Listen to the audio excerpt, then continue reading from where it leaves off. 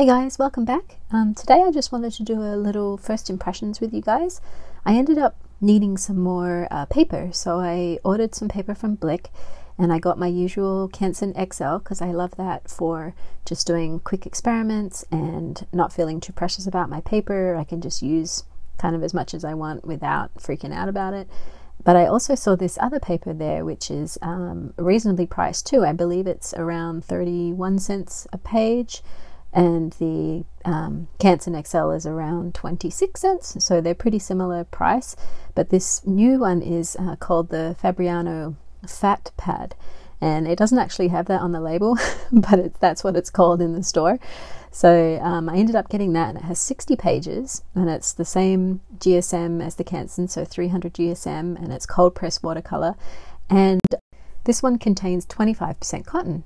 So the Canson XL is 100% cellulose, and this one is 75% cellulose with 25% cotton. So that really intrigued me, and I wanted to see if it behaved a lot different to my XL.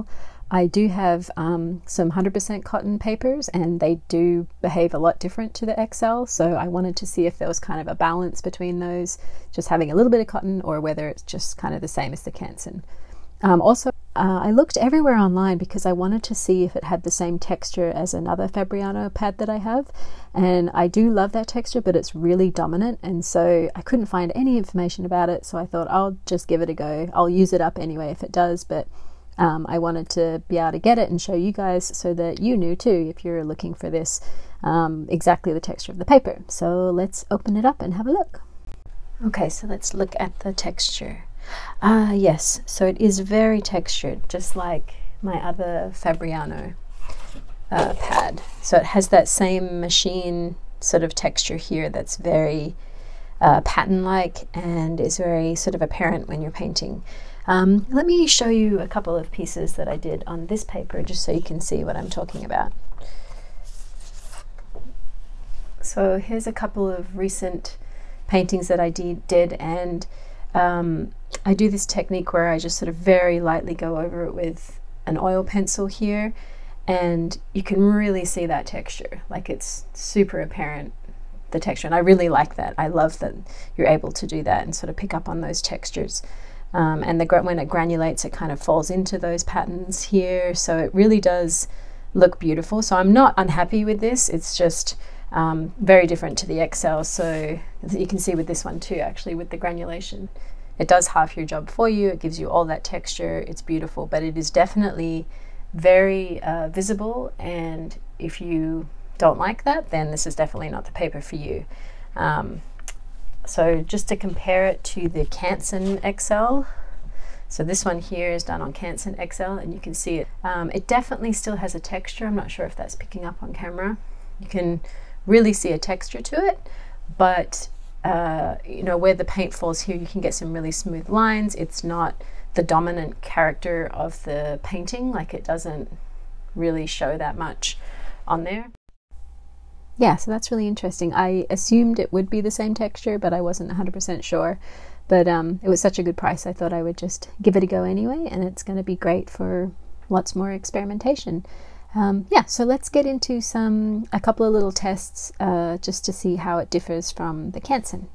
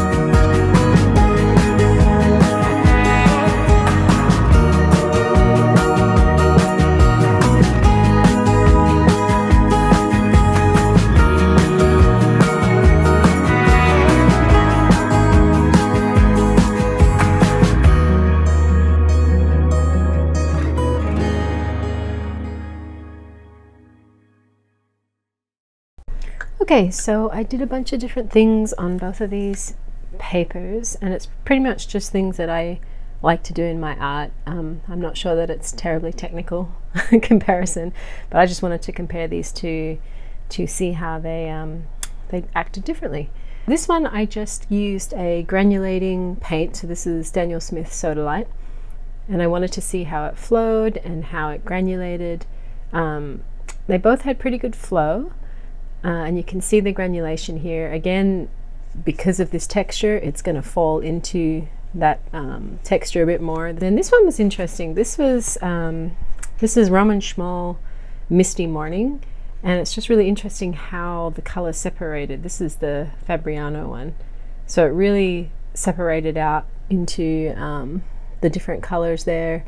There's a lot more pink in this one and it settled into those little grooves in the paper. Whereas the Canson XL is kind of much less interesting actually.